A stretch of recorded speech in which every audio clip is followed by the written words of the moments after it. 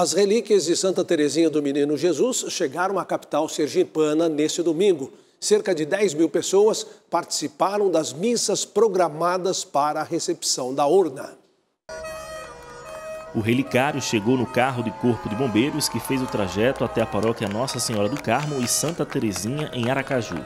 Milhares de fiéis e devotos já aguardavam na igreja. A visita da relíquia de Santa Teresinha nos remete à sua vida a sua pequena via de santidade. Ela que foi vítima também, se ofereceu como vítima pela igreja, por tudo. Então é sempre um toque, um toque de Deus a partir de uma que serviu a Cristo e se doou por Cristo. Este casal veio agradecer as graças alcançadas por intercessão da Santa Francesa. Desde o começo do meu relacionamento, ela é nossa fiel intercessora. Sempre a gente pede a intercessão dela, a nossa padroeira das rosas. E para nós é uma alegria imensa estar aqui e vivenciar esse momento, pedindo a intercessão dela, para que possa interceder cada vez mais pela nossa família. Isso é uma alegria imensa estar aqui.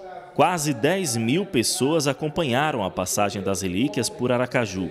Na igreja dedicada à santa, foram realizadas quatro missas.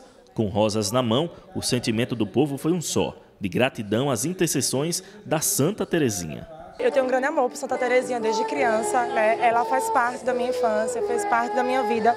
Mesmo antes assim de perceber que ela já estava ali comigo, ela já estava como uma grande amiga do céu e eu não podia faltar um dia como hoje, que é muito especial para nós nós temos um grande carinho por ela, né? essa pequena santa que conquista e conquistou tantos corações, né? a Santa das Rosas.